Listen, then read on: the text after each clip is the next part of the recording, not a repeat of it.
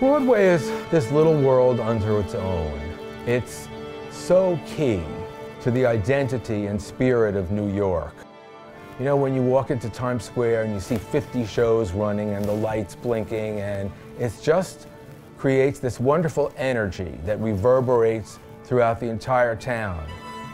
Those lights went out, and those theaters went dark.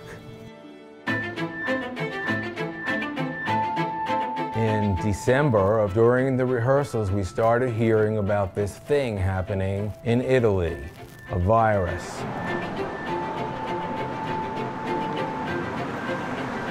Yeah, and it felt far away. It felt like one of those things that might show up in the US in like a few isolated cases and then disappear. And then, of course, you know, you just keep hearing more and more and more. And, and everybody would be kind of gathered in someone's dressing room, kind of like listening to the news and like, the hell's going on? New York was hit hard. Good friends like in Moulin Rouge, COVID went through that cast and they were felled.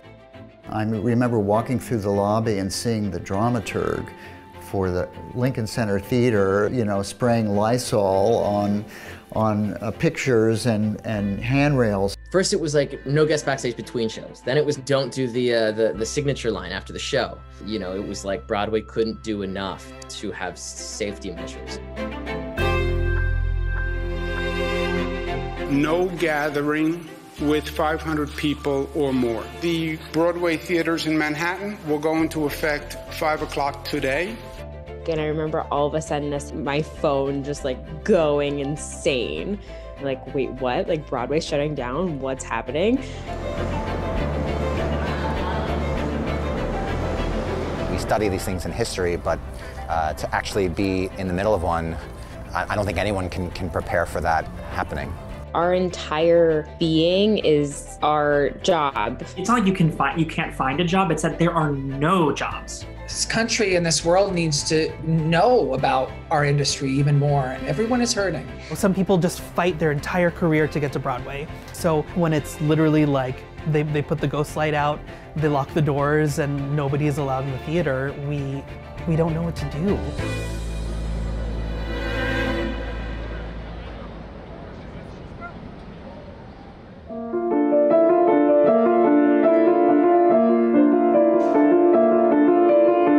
Name is Tom Kitt, and I am a composer, arranger, and orchestrator working on Broadway.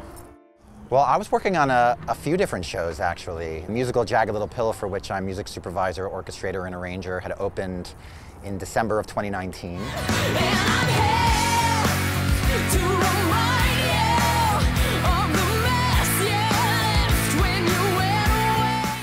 I was working also simultaneously on two musicals, Flying Over Sunset, which was to premiere at Lincoln Center, opening night of April 16th, 2020, and The Visitor, which was happening at the Public Theater and opening April 15th of 2020. So I actually had two musicals that were going to be opening on back-to-back -back nights in April of 2020. Musicals take a lot of time to come together and to get to a place where you're ready to share it with an audience. So The Visitor, our, our very first developmental reading uh, took place in the summer of 2014. And the very first developmental uh, reading of Flying Over Sunset happened in the summer of 2015. So it's a, a combined uh, over a decade of work. So certainly to have spent all that time and, and created two musicals, two new original musicals that I was so excited about, so proud of, and to see you just get right up to that moment and then have it not happen, it was, uh, it was devastating and it was, it was really hard. It's just a lot to process. And for me, I had been going from creative process to creative process and um, suddenly there's this uncertainty and I also just didn't, didn't know what I was supposed to do in that moment. I, I knew I didn't want to create anything, and I would wake up every morning with just this sense of dread and fear and sadness. And it's such a strange thing to think a few days ago I was here and now I'm in this moment. We were at a place in the theater where we had moved onto the stage, we had been teching, putting together the work and then adding the, as you do, the orchestra and putting all the cues and images together. And as each day we went along, this shadow started coming over us of this, of this mysterious flu that we had heard about. Um, and people started to be aware of it, and every day seemed to get a little darker and darker from the shadow until I would say it must maybe three days or four days prior to our first audience arriving, we heard that Moulin Rouge had to close um, down because uh, the company, uh, someone in the company had, had COVID. Then we went another day or two and heard that another show had closed down. So we knew that uh, the shadow was coming closer and closer over our theaters. It was in March 12th, I believe, that our show was to have its first preview, and that was the day that Broadway shut down. No gathering with 500 people or more. The Broadway theaters in Manhattan will go into effect 5 o'clock today. So it was, you know, four years of work to get to the exact moment where we would have been doing what we were born to do. This is what we live for, and uh, everything comes to a grinding halt. So there we were, squeezed in with a bunch of Broadway musicals that were supposed to open at the same time as us. There was Six about the wives of Henry VIII, and there was Mrs. Doubtfire. The West Side Story revival was supposed to open. A lot of big musicals. I hope that they will all be able to come back.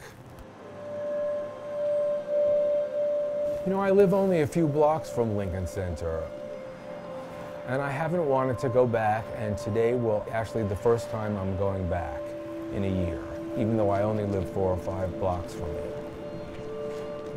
Tell me what we're looking at here. Well, this is the poster for my show, which has been here throughout all the pandemic while Lincoln Center has been closed. They're keeping the lights lit. Coming this spring. Coming and going this spring. But maybe the best publicity was just that sign staying there for 12 months of the pandemic and another half a year at least until possibly we open up.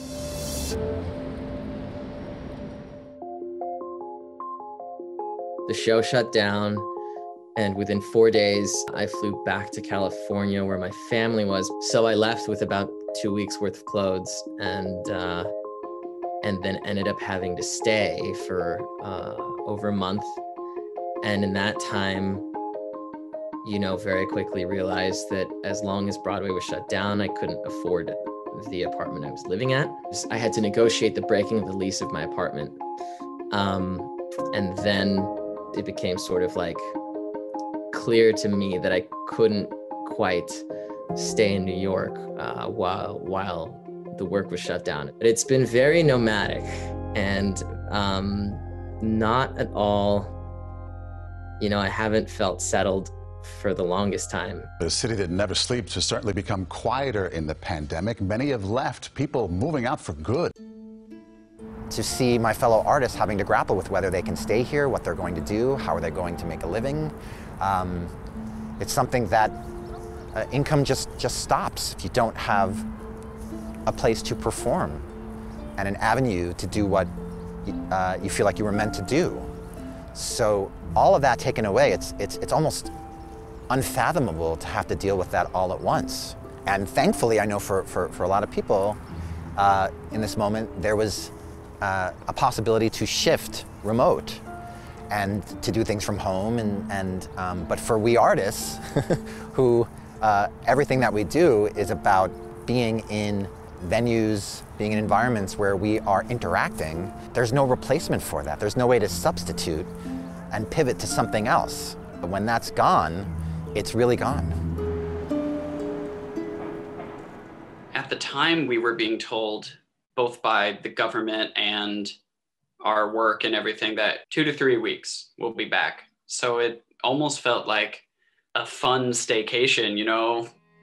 Then it wasn't back, and then your bank account starts to see that, And this was before we had the CARES Act and everything like that. So it definitely went from this like fun staycation to, oh, all I can hear in the city is either silence or sirens.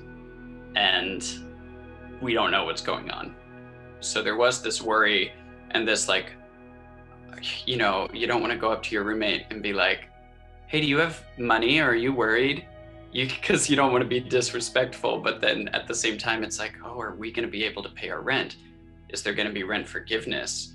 What what's going to happen? You would hear stirrings of that, like, oh, this bill is trying to be passed, but it's taking weeks and weeks. It's and weeks. And it's like, well, in a week, am I going to have toilet paper? In a week, am I going to have food? like, yeah, I don't know.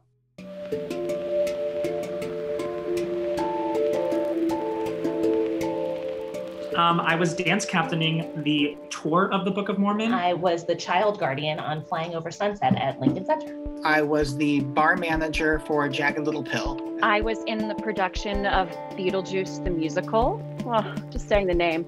So I was the assistant conductor and one of the keyboard players for Beetlejuice on Broadway. I was the administrative assistant at Hudson Theater. I also worked part time as the theater operations associate. Um, we made sure that uh, all the patrons got their their drinks and all that. Visually, for the rest of the world, you see the actors. They don't know about the stage managers, the house managers, the assistants to all that, the ushers, the technicians. You have your safety people backstage. Is there pyro in your show? You have the people trained for that. You, it's it's huge. It is a huge amount of jobs to be shut down. There's a whole community of bartenders and merchandise and facilities porters. It's not just the actors on stage, but it's all of the creatives who work on these shows and are able to make them happen. And the ushers and the dressers who like literally you would never see a broadway performer on stage looking together or on stage on time if it wasn't for them you know? The the sound team the lighting team everyone. You can feel forgotten by the rest of the world as a whole. They're not thinking about the people behind the scenes or the people that you're buying your tickets from and stuff like that. They're not, the rest of the world doesn't think about that. They might think, oh, some hoity toity actors are out of their jobs. Um, oh, Meryl Streep's not working right now. Darn, you know, but they don't get that the person doing Meryl Streep's makeup, the person who designed Meryl Streep's makeup, the person getting her costume ready, the assistant who's just packing the costumes, like I don't they the world does not realize how big this is. I heard them with my own ears say that Broadway makes more money for New York than all of the sports teams combined. I heard that, I saw it written down. Yet we are invisible.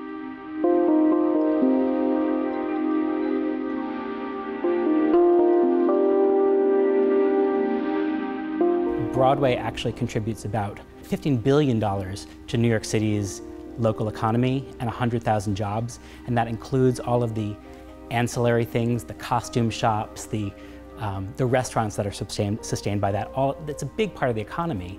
And when you take all of that foot traffic and all of that uh, coming together away, there's a lot of people hurting every time they have all these, you know, things on the news and and not to take anything away from people who work in the hospitality industry because it's been decimated as well.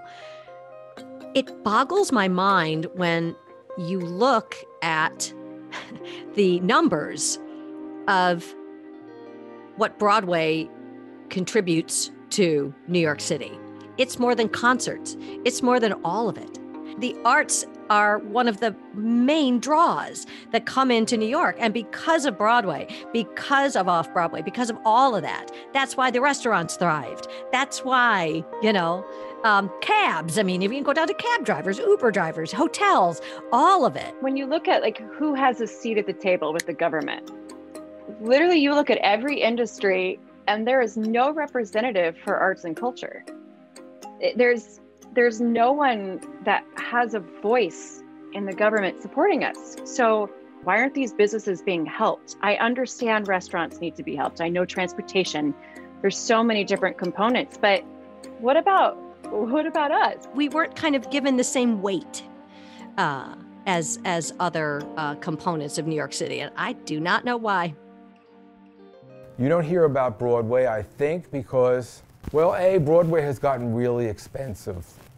Expensive to produce. There are unions that escalate costs, and for many people, if they go to see a Broadway show and want to bring their family, they can only afford to go once a year. So I think that it doesn't seem at the top of our list when we're thinking of the casualties of the pandemic.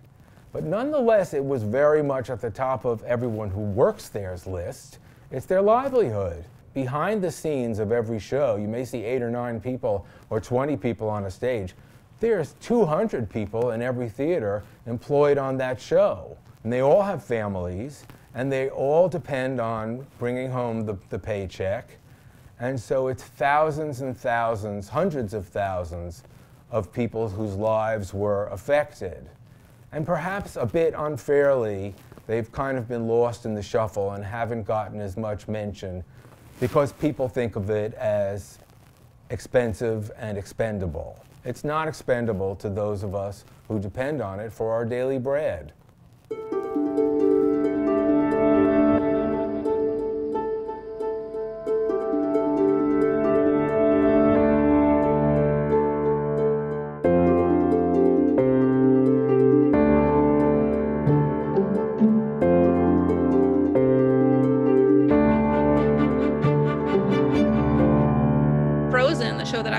First running show that closed because of the pandemic.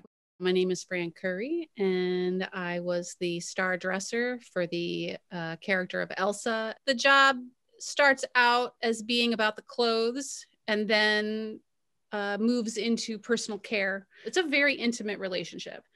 Um, your maid, buddy, uh, you know, waiter, waitress, host, housekeeper, psychologist, any any any jacket you have to wear, you you you wear it, and it's a it's a it's all about communication and creating a good environment for your star, for your artist.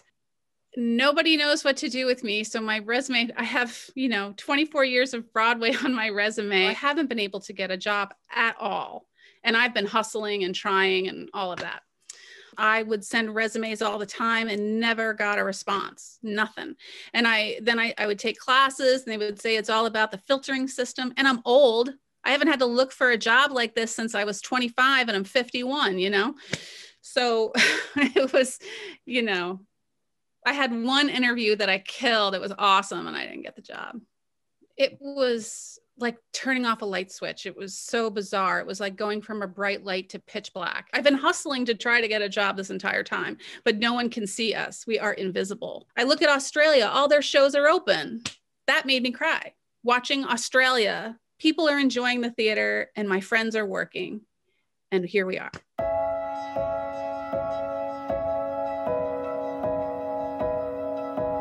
So, when it came to cleaning out our dressing room, gosh, months had gone by. We we didn't even know the show was closing. And then kind of a last minute couple days notice, we had a phone call saying that the show was closing. And that was really my first time going back into Midtown. And it was really odd to see fellow co- coworkers and the first thing you want to go do is run up and give them a hug, but we can't. We just have to kind of like smile and wave and it was quick. We only had like 20 minutes really to clean out our stations. And so people are rushing to get in in and out. So you, you're quickly passing by. The dressing room is such an awesome place. It's where you really connect with your fellow actors. So it was weird being in there by yourself and not having your family. Um, and knowing that your things have been sitting there for months and months, not being used, and you're boxing it up to go put under your bed. Usually, when Broadway shows close, they'll have like a closing night party and it's where like everyone gathers together. You have a huge celebration and yeah we just we didn't get that. Everyone had masks on. Um, and then the gentleman who was filling out our paperwork grabbed our bag of costumes brought them to us and that was it. That was how we ended and just seeing everything being packed up in trucks shipped out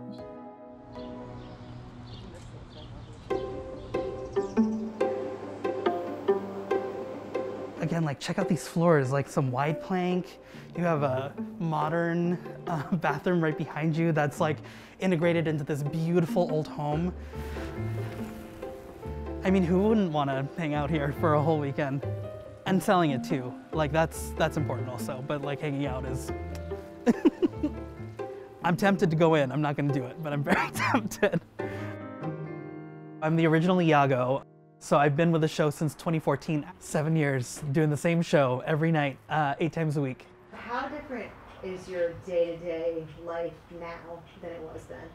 Three million percent different. Um, we got the call. I remember just like staring at my wife, being like, cool, like, what do we do? What do we do now?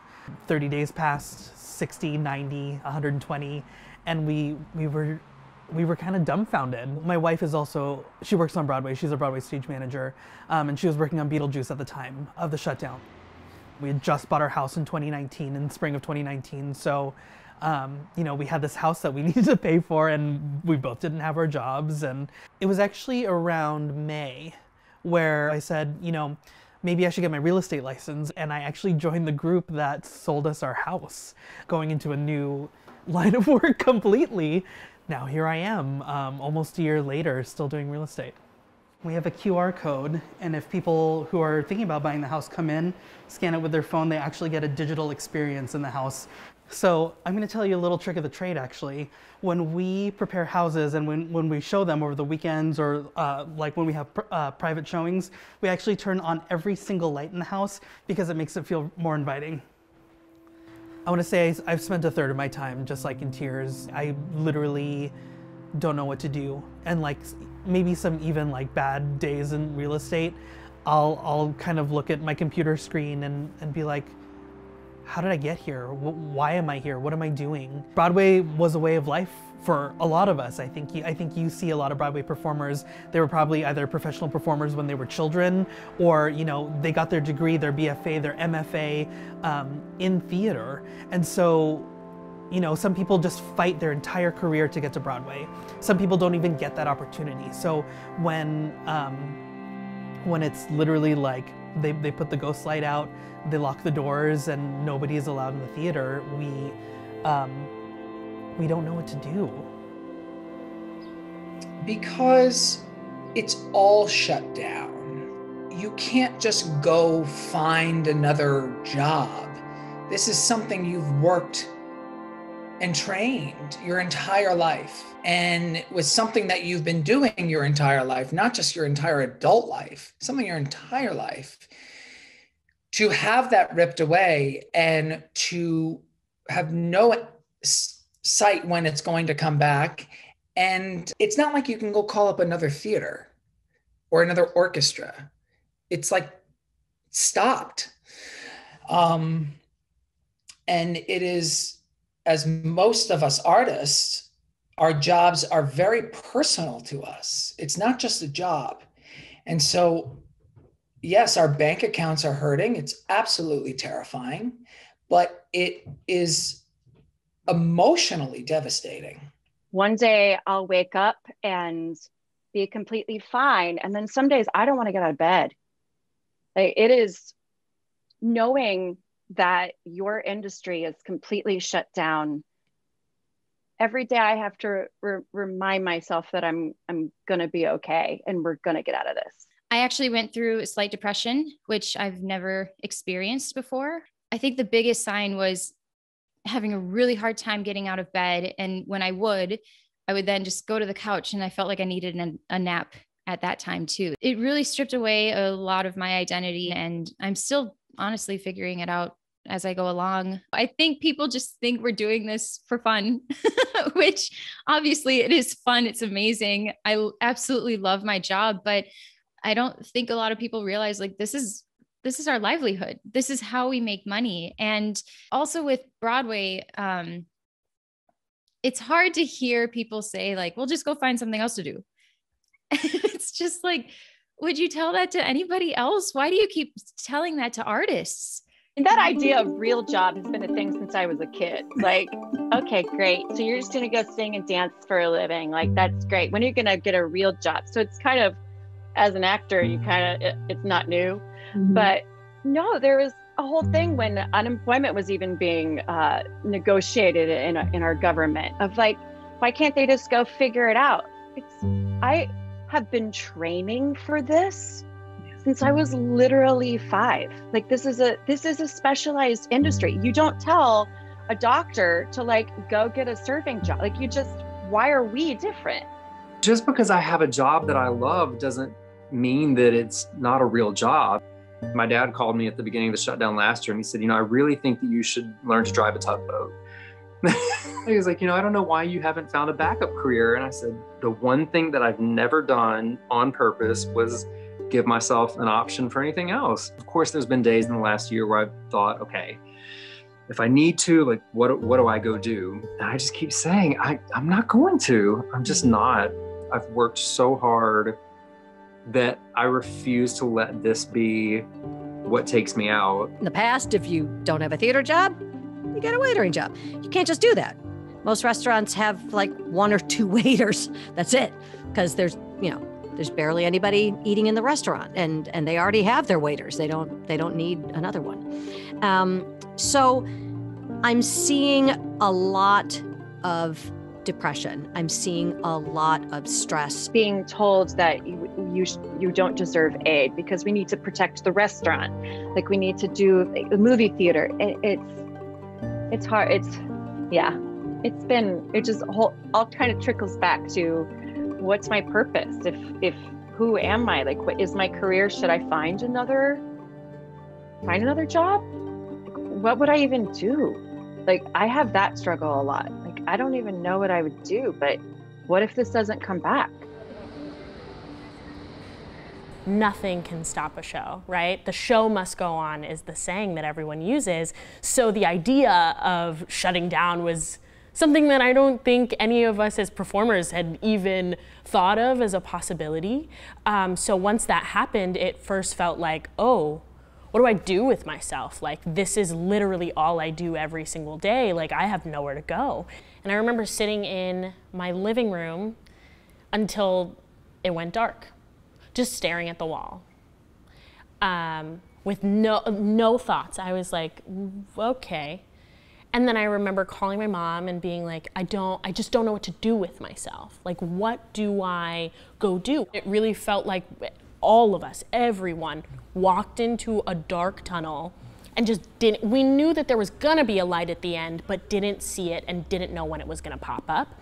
And that was the scary part of, you know, two weeks turns into a month and the month turns into two months, then six months. But once you hit six months, you're like, okay, you know, I'm just gonna strap in for the long haul and just wait until maybe next year. You know, there's the economic side of it, but also a cast like West Side is over 50 people.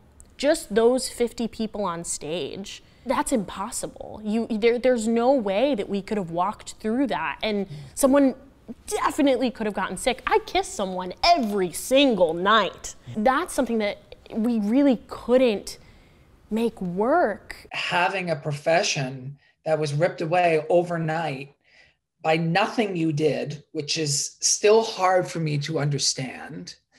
Um, and at, at you know, you can't replicate conducting a Broadway orchestra with people that are like family to you.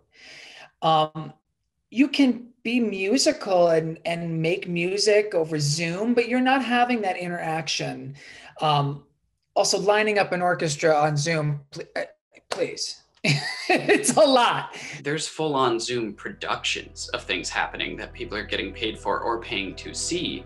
So, yeah, performers are getting work or something at, at a small margin, but not a lot of other departments in theater can do that. I have no virtual job. I can't usher a virtual show. What's been tough about this is not only has it stopped us from working, but for many people who were living in New York, it, it pushed us out of being able to live here for some people forever and, and, and some for a certain amount of time. So it has fractured us, I think, in a really big way that maybe not a lot of the country has realized because so many other people just became work from home and it was sort of like hunker down and stay here. For a lot of us, it was like, we could only live here when we were working. And so we've been severely displaced. Um, and there are many artists and, and workers in, from the theaters uh, who have left this town and maybe are unsure about when they'll be able to return. Did you have to pivot to something else? What did you do to make money?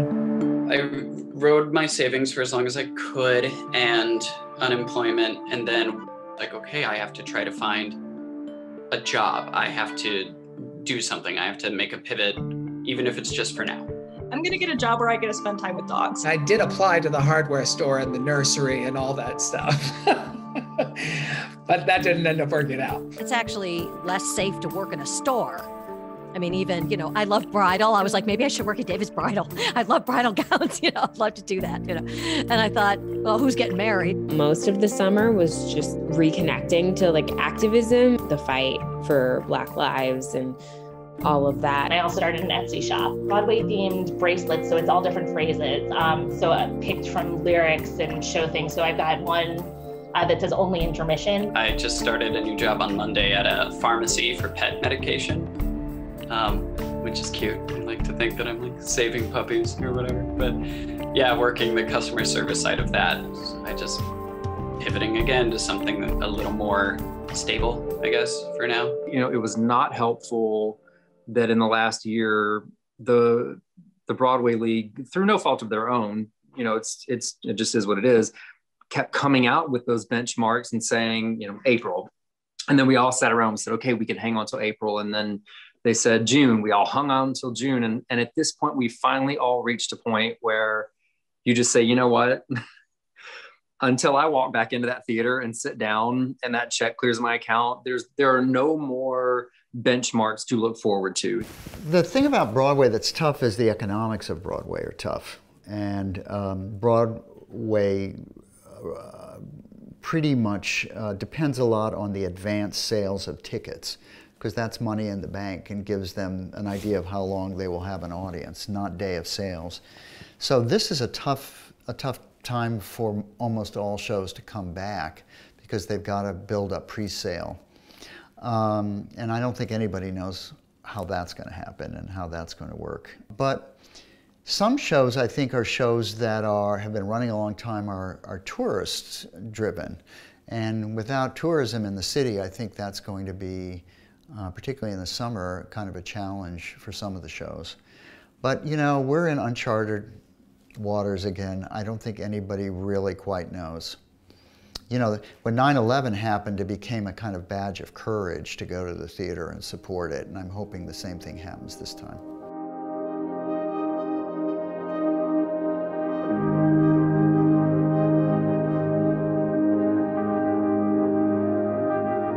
Somebody said, well, you know, theaters can reopen. Uh, you just run at 30%. And one of the producers I know said, yeah, we close at 30%. Uh, we can't stay open unless we're at the very least 80%. So I don't know how they're going to do it. I've been in the industry long enough to understand that the economics are hard um, in the best of circumstances, and it's an expensive, um, a very expensive art form. And so there's just no way to make the numbers work uh, without you know, having full capacity available.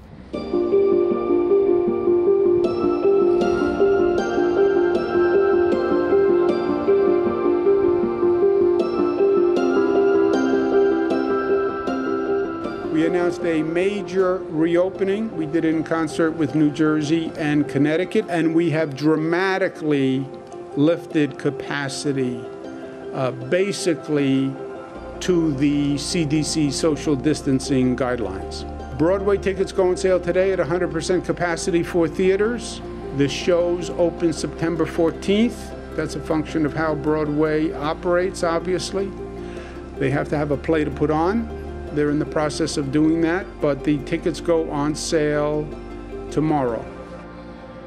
Now there is reason to hope again. We can think about re rehearsing and we'll have to go back into the, the basement room, work it all out again, and then go back into tech, uh, and figure out what we did and maybe make it better. Take into account the year we've been through. I'm sure that will color everything.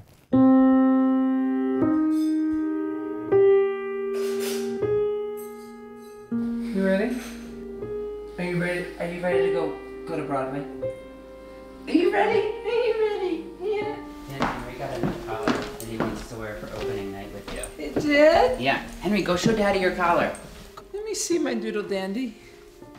Oh, oh, wicked. I love you, my doodles.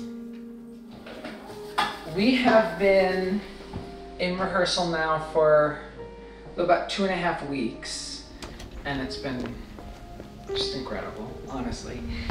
And the orchestra comes in a week before opening, which will be amazing. I haven't seen them for 18 months. Drive safe. Okay. Have fun. Everyone was always like wondering, like, when we get back into rehearsal, are we gonna remember it? Are we gonna remember what we did? How to do it? For me, I- it's like getting on a bike. It it really was. I mean, yeah, there's things that we have to like get our brain back on the bike, but overall, it was like, okay, here we are. You're not being told the whole story!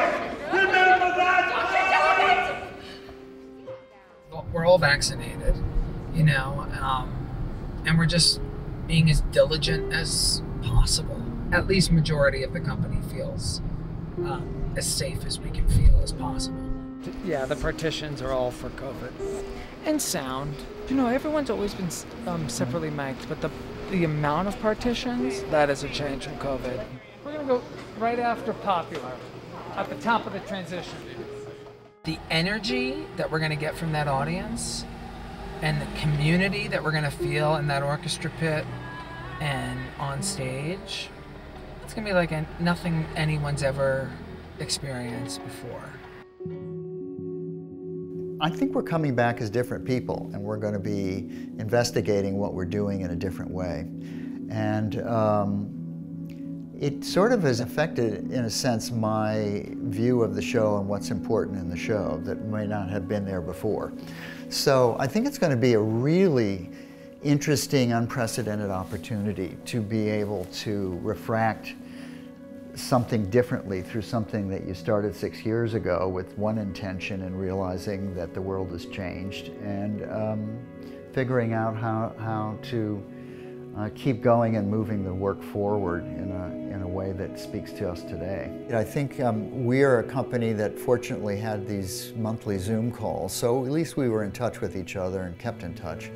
But I think, you know, people are going to have to fit into their costumes again and do exhausting dance numbers and singing. And uh, I think people, I'm going to be Zooming with the gang as of Friday. And, uh, you know, as my, putting my directorial cap on, I'll have to say, we got to start getting into shape. And we're going to have to review the work before. We, we can't arrive on the first day of rehearsal without preparation. We're going to have to come where we left off and pick up from there. After all that this country has been through, the politics, the upheaval, the mask wearing, the no mask wearing, the insurrection, uh, uh, a show pales in comparison. Half a million people gone, many of our friends from the theater dead or stricken. If we come back, it will, it will have a new meaning to us. I think reopening is going to be filled with tears. I think people are going to be crying. I know I will. I'll just be crying and crying and crying. It's hard to know what it's really going to look like. Are we going to have 100% capacity? Uh, temperature checks? Will you have to be, um, I mean, what will be the vaccination rate at that point? What will be the positive rate at that point? I think that probably your long runners like Phantom, Lion King, Wicked, Chicago might be the first to come back to show, to draw in audiences, especially non-New Yorkers, to show you it's safe, to show you it's it's good to be back. And I want to be there. Like I, if Harry Potter is not in the first wave, you bet your ass I will be in the audience for the first show that is. And personally, for me, I dream of it being Wicked uh, which I've seen before, of course. Um, I imagine being in the first audience of Wicked on Broadway, and Glinda comes down in that bubble, and her first line is, It's good to see me, isn't it? Right before the opening. And at the end of the show, when she says, We've been through a terrifying time. It's, oh, we dream of that. We dream of that night. And I think it's going to be for months and months that it's going to be very emotional. There are things that I, I have created that I've listened to in this moment that have whole new meaning for me. Um, I remember one of the nights early on the pandemic, I sat and listened to If Then, and there's a song on If Then called Some Other Me, which is all about imagining other lives that you could be living. We all, we all look at our lives and think, well, this led to this and this led to this, but what if one thing had been a little different? Um, and to just sort of feel that in the moment of what is fated to happen and what is the other version of myself doing um, versus the version of me sitting and being in this pandemic. I've thought about Next Normal a lot in this moment. I mean, Brian Yorkey just wrote the most beautiful lyrics in that show, and one of the, the lyric that we talk about, um, you don't have to be happy at all to be happy you're alive. Sorry, I'm getting, um, but it's, it's true. We have, to, we have to be happy to be alive. We have to look at every day, no matter what's happening, as a way, as a moment that we can do something important, that we can help each other, that we can speak to one another, that we can make change. So I'm hopeful that when we come back, these important stories, these important words that have been written and the words to come are going to continue to inspire hope, change, um, and that we will be changed for the better having gone through what we've gone through this year. There's no place like home.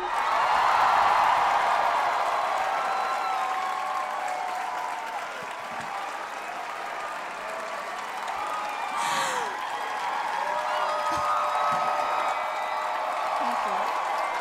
Thank you. I just want to, I wanted to be the one to be here to welcome New York and all of the theater goers back to what is, sorry, my favorite show.